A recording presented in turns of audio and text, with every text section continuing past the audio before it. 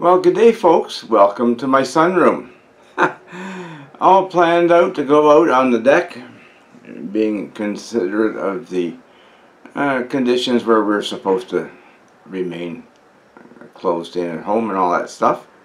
Anyway, today, if you remember, we, I spoke in my last video about there seemed to be a difference in the flames and such from my uh, Trangia and from my Pathfinder uh, stoves, the uh, alcohol burners.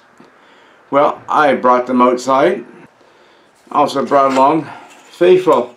Now we know they are not this long, for sure. However, I brought this ruler because it's a 15 inch stainless steel. It's in inches and 60, down to a 16th of an inch on one side and the other side is to 38 centimeters for our people who want the inches we can do that. Let's start off today. Um, and, and I found it interesting. I've taken the cover off and I'm going to be moving the camera around a little bit here and there. And so sorry about that. Um, okay.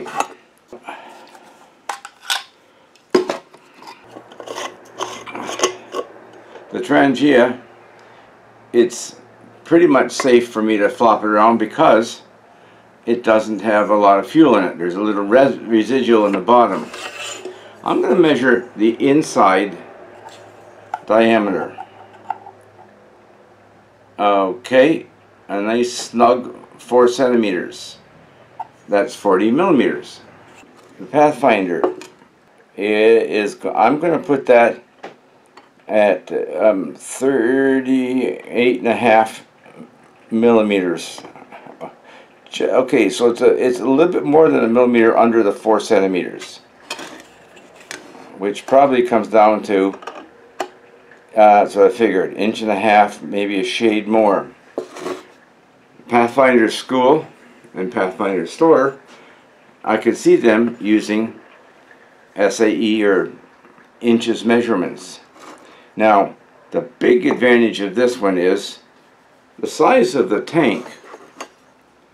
Okay, that's a massive tank. Now I've done, I've used it twice, and I still have.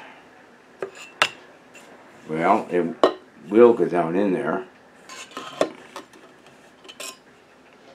Uh, yeah, um, and one and an eighth inches of fuel in there. It doesn't look that much from on top, okay? Now, the holes, um, the Trangia holes are smaller. And here's where we may have an interesting. Okay. Um, you can see that the Trangia burner holes are pointing outwards a little bit if you look at the side over this side over here they're not on the top, they're pointing outwards. The holes here are pointing more straight up. And really, it doesn't need to be that way because there is this hollow here.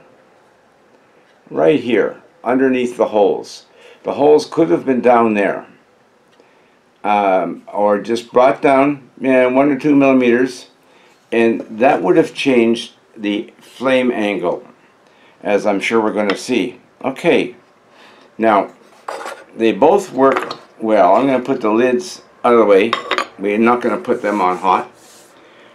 Now the Trangia has no alcohol in it. Um, when I used it the other day out on a table, if you remember I was looking inside the hobo stove trying to see the flames. I did not. Now I'm using 99.9% pure methyl hydrate. Okay, now I'm going to bring this down, and I regret that I cannot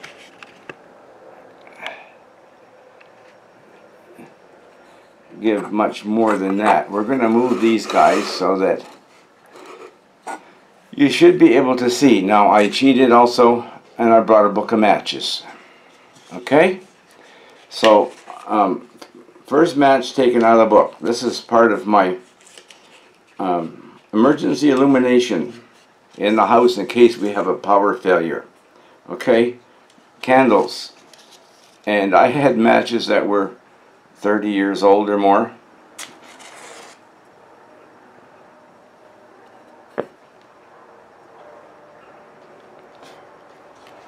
Okay, both these stoves work quite well and I'm hearing a little bit of sound there and I I'm using the camera uh, microphone because I didn't see the need to go to anything else now hmm. I did not bring anything to bring up behind these guys either. Um, I'm hoping that the, the bloom will show. Okay. Uh, this spacing the Trangia is a bit is warmer. Anyway they both work. The Trangia okay you heard it pop that is the Pathfinder and yes I'm six inches above it and it's hot Oh, it's hotter above the Trangia by a good bit. Okay, I'm not getting able to see um, an illumination here. And I'm not sure if there's anything I can do.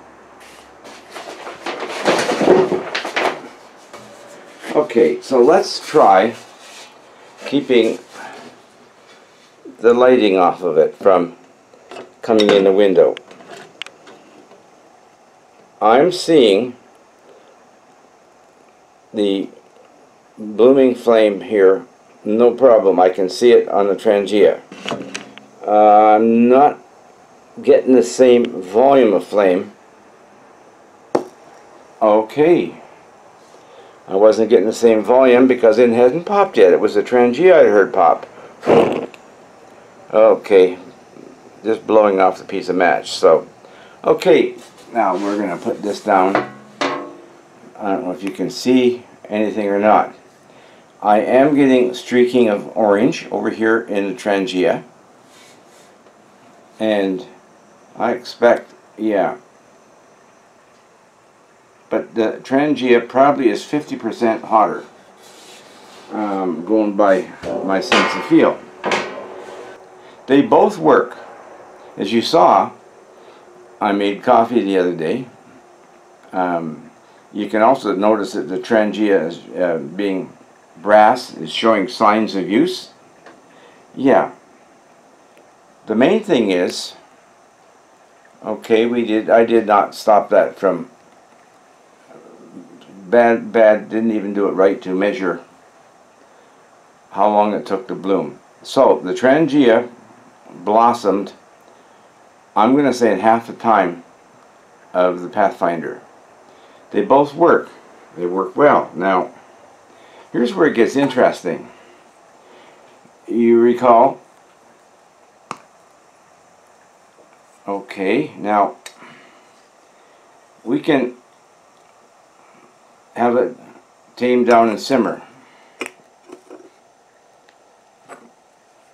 And I must admit, the Pathfinder one with the wire and there's the Alocs brand and I'm sure I think even Esbit not positive on that one don't shoot me okay now they both what I'm finding is okay the Trangia is a closer fit in the extent that it doesn't jiggle as much Okay. Now, I'm going to move that out of the way. Bring us in here. Okay. And I'll bring it up just a bit. Okay, so the band here that I've got, there's the opening, so you can squeeze it. Okay? Um, if it got sloppy, which it wouldn't, I don't think. But anyway, so it sits and it doesn't quite fit, so you squeeze it a little bit. And here we are. Okay, now, part of their theory, I do believe, because the jets are aiming upwards, I'm sure that we have more than uh, the, the magical one inch that Hiram Cook. Yes, it's one and a half. Okay, one and a half inches. Hiram Cook has tested and proven that with these burners, at least um, the Trangias and, and most of them, you need one inch is the magic number. Any higher and you're losing some heat value. Okay? Now, this one, and, and I do believe it's because they have their jets shooting straight up, they're gonna they're gonna come up inside the pot here and then outwards a little bit, right? So that actually I could take off a quarter of an inch, I think I said, right? No, half an inch, right. Reducing it a half an inch would probably make it a little better, maybe not, but it's not important because there, and you can see it's about an eighth of an inch from being fully seated up. Okay, a good it's, it's a good stove. The only thing, like I said, is I found for me it wasn't very warm. Okay, now when we get down to the Trangia, and okay, what do we do with it? And you'll see the, the, the, the black on there. Okay, last winter,